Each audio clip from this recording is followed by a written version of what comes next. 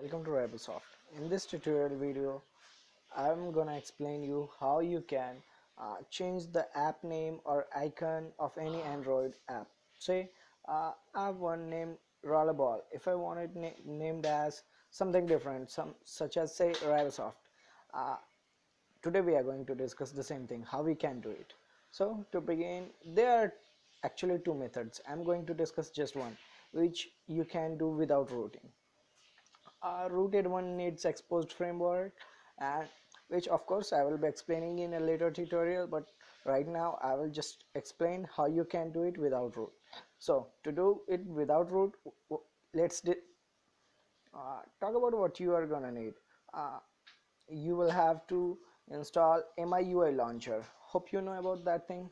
It's a really cool launcher. One of the coolest is sim best part of MI launcher is its simple and uh, saves battery as well. So to begin first of all download mi launcher from play store. I've already downloaded and installed it so i won't do that part. Just i'll show you. Yeah here it's mi launcher. It's from mi app. Uh, you have to install it. Once done uh, set it as the default launcher which you can do simply by just uh, getting to home screen and you will be asked to uh, switch between the launchers. Then select uh, mi launcher. And as soon as you are done uh, yeah you can see some uh, interface your phone's interface somewhat like this. From here click and hold the app you want to edit name and features of say for I was uh, yeah roll the ball uh, I have holded it and then click uh, drag it to edit. Here as you can see uh, you can edit the name. It's about editing the name. Say uh, I like to check it RyberSoft yep done. And by clicking here you can even edit between its uh, icons. Say you can select the picture camera.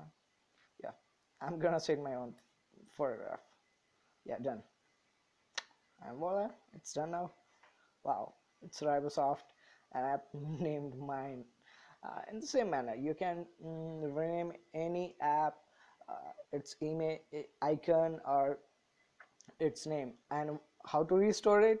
Just mm, uh, once again click and hold it and drag it to edit. Here click on default icon. Oh, okay. Default icon and the icon will be switched and the here you will have to work manually. Uh, you will have to manually type the name of the app. Uh, that was initially. Say roll the ball. Yeah done. Oh wow. Roll the ball. Yeah. And click done.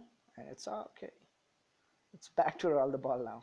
So friend hope this video helped you uh, please hit your likes and subscribes to my channel. And even think of visiting my website rybersoft.com. thank you buddy. Bye bye